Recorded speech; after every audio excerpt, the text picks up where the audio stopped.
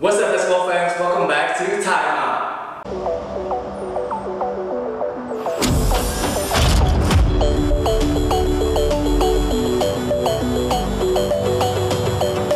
Bersama Rifki Padilla dan video kali ini kita akan membicarakan tentang tiga pemain world import yang akan membela Indonesia di ASEAN Basketball League musim 2018-2019. Langsung aja kita ke nama pertama ada Monte Brandon. Nah, Monte Brandon ini tinggi sekitar 2 meter 3 cm, umurnya masih 25 tahun dan pengalamannya cukup oke juga menurut gue dia sempat bermain untuk Florida State University di NCAA dan kalau gue nggak salah informasi dia tuh sempat memain, uh, bermain untuk Charlotte Hornets di NBA Summer League dan musim lalu pun Monte bermain di salah satu liga terbaik di Asia yaitu Liga Jepang.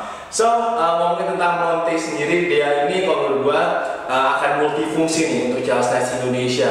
Jadi dia uh, tinggi, size-nya oke dan juga uh, power banget mainnya sehingga dia bisa bermain di multiple position nantinya untuk Charles Knights Indonesia. Tapi kalau gue lihat videonya ini atletik banget dan juga spesialis untuk defense. Jadi nanti ini mungkin jadi satu defensive stoppernya Charles Knights Indonesia. Lalu kita ke pemain nomor 2, nomor 2 ada Stephen Hurt. Nah, Stephen Hurt ini seorang big man, tingginya 2 meter 11 cm, uh, umurnya juga 25 tahun. Sempat bermain untuk Kansas State University ini uh, alumninya sama nih kayak uh, Martavius Irving kalau di uh, IBL. Jadi uh, di tahun senior year-nya itu uh, Steven sempat bermain bagus banget nih melawan salah satu sekolah terbesar mungkin uh, sekolahnya Andrew Wiggins dan juga sekolahnya Joel Embiid yaitu Kansas. Dia sempat mencetak 14 poin dan 11 rebounds. Nah, uh, tahun lalu pun uh, kalau nggak salah itu si Steven Hurt ini sempat bermain di salah satu tim uh, terbaik di Qatar yaitu Al uh, sorry Al Ryan. Nah, jadi Steven Hurt ini memiliki resume yang bagus juga dan gue lihat dari game itu dia punya soft touch banget ya around the rim. Uh, mid range game-nya nembaknya juga bagus.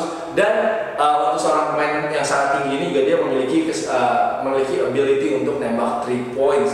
So uh, salah satu pick up yang bagus juga menurut gue untuk Jazzness Indonesia.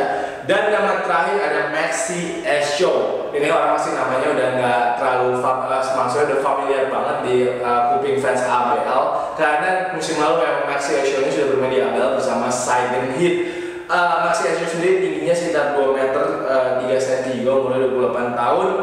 Dan Maxi Esho ini gue nggak usah ngomongin terlalu banyak juga karena kalian pasti udah nonton udah tahu uh, ini power forward yang bermain seperti guard menurut gue dia bisa ball handlingnya bagus bisa nembak 3 point dan dia kalau layup pun uh, layupnya tuh bisa athletic move banget seperti uh, seorang guard. Jadi uh, gue suka banget sih dengan pick up yang Maxi Esho ke Knights Indonesia. Menurut gue Maxi Esho ini bisa menjadi salah satu pemain terbaik nantinya di Charles Knights Indonesia.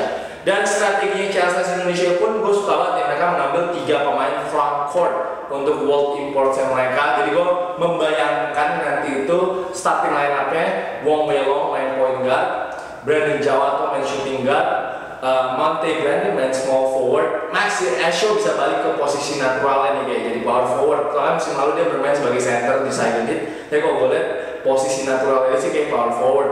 Lalu di center ada Stephen Hurt. Lalu dari dari cadangan pun ada beberapa pemain lokal yang bisa dirotasi. Yang pertama ada Sandi Kusuma pasti uh, shooter andalan Chelsea Indonesia. Lalu ada big man mereka juga Firman Nugroho. And then yang gue uh, pengen melihat banyak juga adalah Arif Hidayat dan juga Wisnu serta Katon. Jadi uh, ini lumayan stack banget menurut gue uh, tim Chelsea Indonesia dan mereka memiliki kesempatan besar banget gue untuk masuk ke playoff di musim ABL mendatang ini. Lalu sebelum kita ngomongin, uh, selain kita ngomongin pemain, gue mau ngomongin tentang pelatih baru mereka juga pasti akan banyak-banyak nanya tentang pelatih baru mereka. Namanya Brian Rawsome, mau gue salah sebut pronunciation gue nama belakangnya. Jadi dia sempat bermain di NBA selama tiga musim bersama Charlotte Hornets dan juga Indiana Pacers. Sempat melatih tim top Qatar juga seperti uh, tempatnya Stephen Hurt bermain yaitu Ar Ryan tahun 2012 lalu dan kalau nggak salah musim lalu dia sempat melatih di Vietnam. Jadi kalau udah punya pengalaman melatih di Southeast Asia itu udah modal yang bagus banget sih untuk pelatih barunya Chelsea Nasi Indonesia ini. Jadi dia udah tahu lah kira-kira permainan di Southeast Asia seperti apa dan mungkin udah punya scouting report juga untuk beberapa pemain Saigon Heat. So itu nilai plus sendiri dan uh, yang unik adalah kalau lihat videonya channelnya Charlotte Hornets kayaknya coachnya Brian Russell ini kemarin sedang lagi ada di opening night-nya Charlotte Hornets, mungkin uh, gue rasa mungkin Brian, Coach Brian kita lagi balik lagi ke Indonesia, jadi mungkin dia ada acara diundang oleh Charlotte Hornets, makanya dia uh, menyempatkan diri untuk ke sana. Dia, dia disebutnya soal salah satu Hornets legend, jadi uh, itulah resume dari Coach Brian Russell untuk uh, Chelsea Indonesia.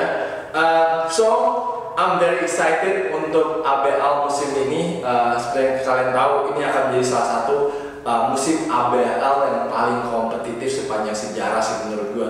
So guys, uh, thank you guys for watching. Jangan lupa untuk like, jangan lupa untuk komen, dan jangan lupa untuk subscribe juga. Thank you guys for watching. I'll see you guys next video. Peace.